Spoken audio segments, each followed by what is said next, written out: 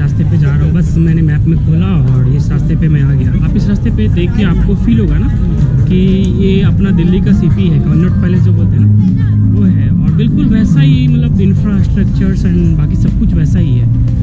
मैं देख रहा हूँ और काफ़ी मतलब सुंदर भी है। लोग बहुत सारे हैं अपने कंट्री के नाइजीरियंस पीपुल अहमदाबाद के बहुत सारे मिले मुझे। ऐसे बेसिकली सच देखा जाए तो यहाँ पे आपको अरब के बहुत लोग हैं। अरब जो अपना सऊदी अरब के हो गए हैं, दुबई के हो गए अबू धाबू के।